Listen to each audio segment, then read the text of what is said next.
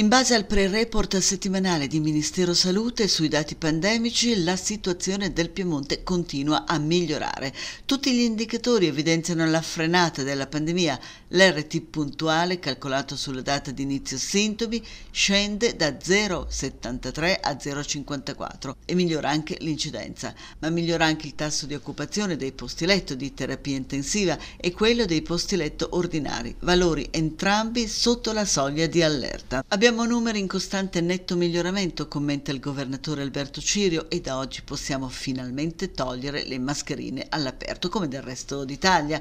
Tutto questo è merito dei vaccini, per cui esorta il presidente alla sanità Luigi Carti, continuiamo a essere responsabili e vacciniamoci. In diminuzione comunque sono anche i morti. Purtroppo i medici ospedalieri accusano sempre più stanchezza e diffondono un'indagine della federazione CIMO-SFESMED in base alla quale in Piemonte quasi il 72% dei medici ospedalieri sta pagando il forte stress accumulato nei due anni di Covid, con ricadute sul lavoro, sulla vita familiare.